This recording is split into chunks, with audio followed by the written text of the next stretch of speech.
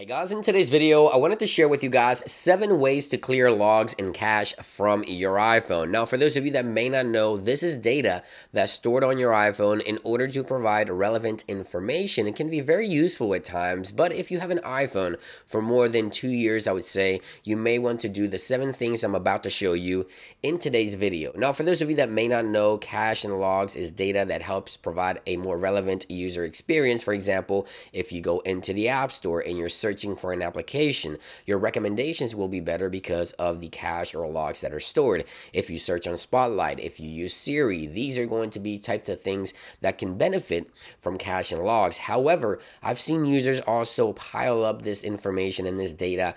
And if we go into the iPhone settings here and we go into general and go into iPhone storage, I've seen users with system data upwards of 30, 40, and 50 gigs. And they may not know what's happening or where this data is coming from. And that's going to be your logs and your cache. So let's show you seven ways on how to clear this information on your iPhone, at least temporarily, to gain some of that storage back and performance. So number one, head on over into settings. You want to scroll down until you find the App Store extension. There it is. You want to click into the App Store section. You want to scroll all the way to the bottom here and you'll find personalized recommendations recommendations. You want to click into this option right here and it will bring you to the settings for the App Store. Right there is the option, clear app usage data. These are going to be the logs that you want to delete and the files for the cache in order to be cleared from the history of your App Store. So that's the number one thing to look at, the App Store history. Number two, offloading applications from your iPhone. So let's head on over into settings here. Let's go into general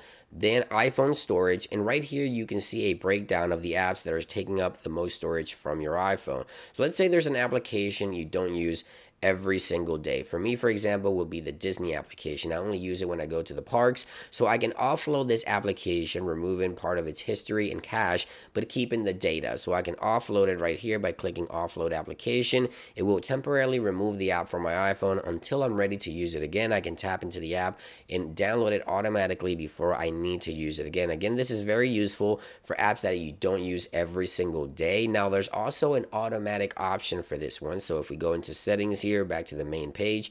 We go into the App Store options and we scroll down. We find the offloading unused applications right here toggle. So the iPhone will automatically recognize which apps you're not using for the past week or so, and it will offload those apps, creating more storage and clearing those apps cache on the way as well. So yeah, if you want to do that automatically, your iPhone can actually do it for you. It can detect which apps you're not using for about a week or so and automatically offload those apps, creating more storage for your iPhone. And then when you're ready to use the app, you'll see the icon to download it. You can download it quickly and all your data will resume where it left off. Number three, Siri and dictation history. So if we go into settings here, you want to find the Siri extension, Siri and search right here it is. Then you want to go into Siri and dictation history and you'll find this button right here. Delete Siri and dictation history. Of course, Siri sometimes can keep your logs in order to provide a better user experience and dictation, of course, on your iPhone as well. So you want to clear the cache from the Siri history and dictation directly from your iPhone by simply going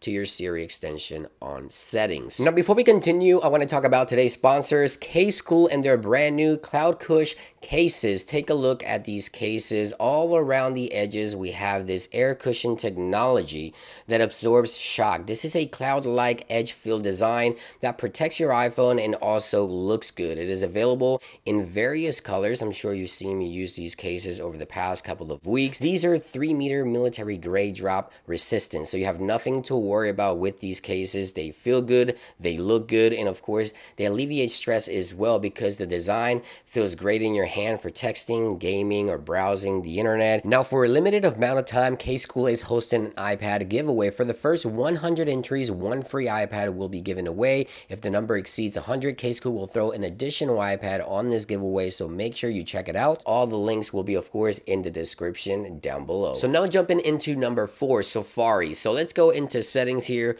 Let's find the Safari extension. Once you do, there it is. Tap into the Safari extension. Then you want to scroll all the way to the bottom until you find the advanced option right here. Here you'll find the web data option. Click into this and this will load up and this will show you the entire login cache history of Safari and you'll see a number on the top here. Mine is a little over a gigabyte of data so I can clear all the data directly from here, or I can go back twice here into the Safari extension and then clear all web data and history directly from this section right here. So I can do that directly from advanced or directly from this section here. So if you look at that number and it's over a gig, you may want to look into clearing some of the Safari history and logs. Number five, if you don't use Safari as your main web browser, let's say you use Google Chrome. So you also want to go into Google Chrome. You want to launch the application. You want to find the settings here on the bottom right. And then you want to scroll up just a little bit and you'll find right there it is clear browser data data. Click on clear browser data and this of course will remove all the cache and logs kept from the Chrome browser directly from your device, creating more storage and improving the performance of the third-party browser as well. Now, number six, you can also do this with third-party applications, especially social network applications. So for example, if I go into Twitter here, I can go into my Twitter settings right here. I can also go into the accessibilities, display and language, and then go into data usage, for example. And then right here, we have storage. We have media storage, which of course we can clear out in order to clear some of the cache from Twitter. And we have web storage as well. So you can manage that storage, those logs and cache from third-party applications, things like TikTok, Instagram. You can go into the settings and clear out some of those logs specifically for each application if you wish to do so as well. And then number seven, this one is super important to me and I always mention this one. So you want to go into settings, you want to go under privacy, you want to go onto location services, and then you want to scroll all the way